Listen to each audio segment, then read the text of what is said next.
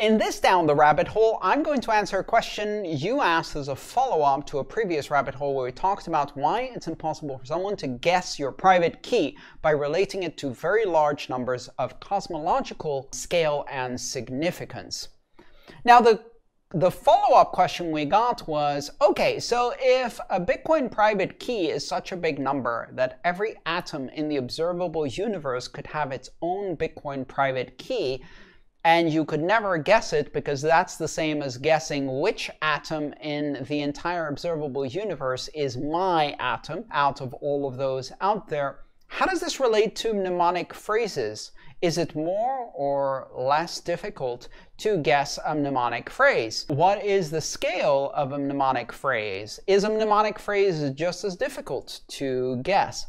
A lot of people have a lot of confusion when it comes to mnemonic phrases or seed phrases. What is a mnemonic phrase? What's up with that? All right, let's explain what a mnemonic phrase is. You've probably heard me say that a private key in Bitcoin, just like a Bitcoin address or a Bitcoin signature, is just a number. Everything we're talking about here is just numbers. There's nothing magical. So a Bitcoin private key is just a number a Bitcoin address is just a number. We write them in different ways.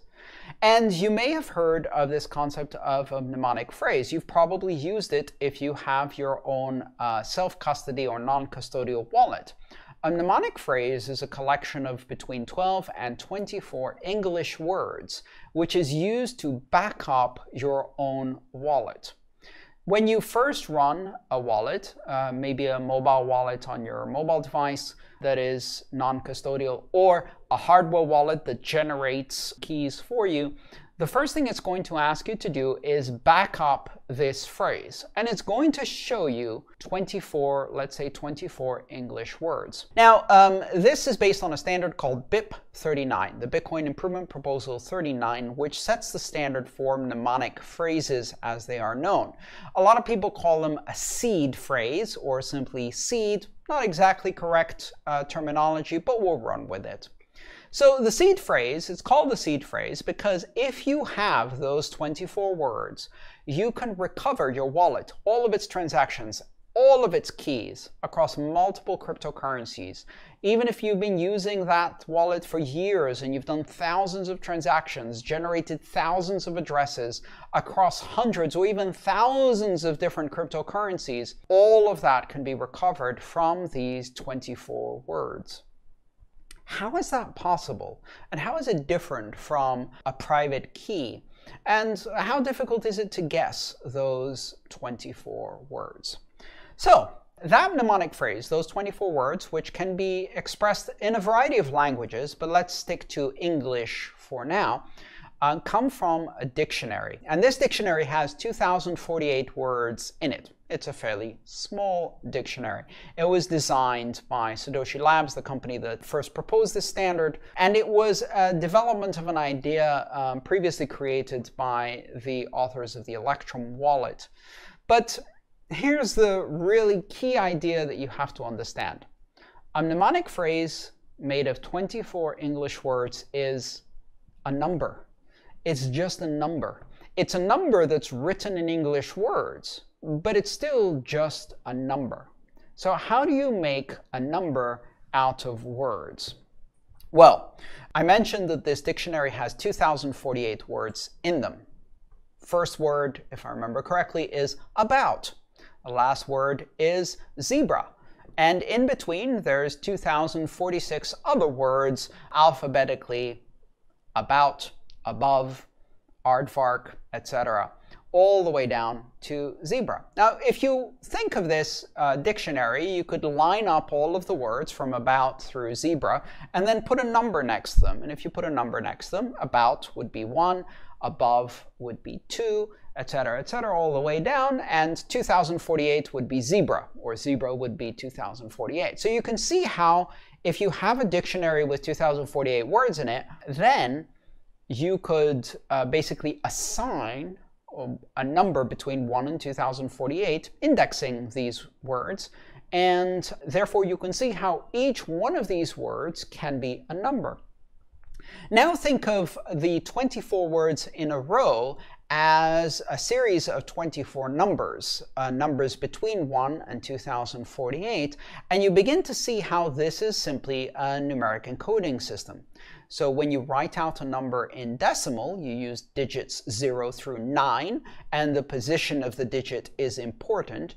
And if you put lots of these digits together, you come up with some pretty big numbers a Bitcoin private key, for example, is a 77 digit long decimal number, and that can be uh, encoded as uh, 10 to the 77. It corresponds to the number 10 to the power of 77 because it's a combination of 0 through 9 repeated 77 times. So you can choose the first digits, 0 through 9, that gives you 10 possible combinations. Uh, then the second digit will be 10 more possible combinations, so 10 times 10 times 10 times 10 times 10 times 10. And for 77 digits, you multiply 10 with itself 77 times, and you end up with 10 to the power of 77. Now let's do that with the words of a mnemonic phrase. The first word, which is between about and zebra, is a number between 1 and 2048. So you can choose 2048 possible uh, options for the first word in your 24 word sequence. The second word also gives you another 2048 choices to pick from, again, about through zebra. And so if you took uh, a two-word mnemonic phrase, how many combinations does that have? Well, it has 2048 combinations for the first word times 2048 word uh, possible combinations for the second word. So 2048 times 2048 or 2048 squared. If you had a three-word mnemonic phrase, then it would be 2048 times 2048 times 2048. You're beginning to see a pattern here. So a 24-word mnemonic phrase is effectively 2048 to the power of 24. That's how many possible arrangements of a 24-word phrase exist. 2048 choices for word 1, 2048 choices for word 2, 2048 choices for word 3, times, times, times, times, 24 times um, for 24 words, 2048 to the power of 24.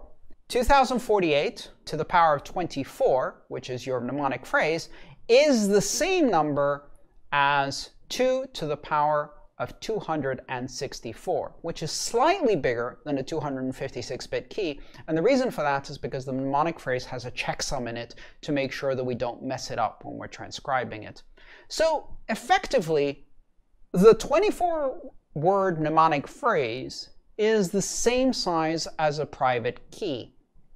And if you take that as your starting position with a special function, a derivation function, you can actually generate a sequence of keys from that first one in such a way that it always generates the same sequence of keys, which allows you to restore an entire wallet with multiple cryptocurrencies and perhaps thousands, tens of thousands of transactions from that single number.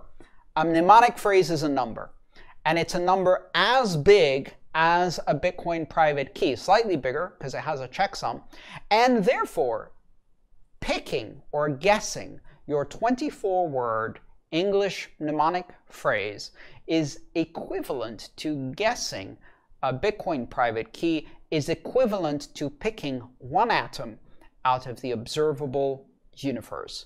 And that's why mnemonic phrases are not only a secure mechanism and cannot be guessed, but also a convenient mechanism because it's a lot easier to read, write down, and read again uh, 24 English words than it is to try to back up a 77 digit decimal number or a 256 bit digit binary number uh, onto a piece of paper.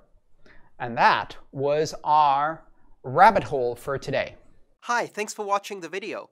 I'm Andreas Antonopoulos. I'm the author of Mastering Bitcoin, Mastering Ethereum, and the Internet of Money series. If you'd like to support my mission of bringing education about Bitcoin and open blockchains to as many people as possible under open free Creative Commons licenses, please consider subscribing to my channel and supporting me on patreon.com slash A-A-N-T-O-N-O-P. Thank you.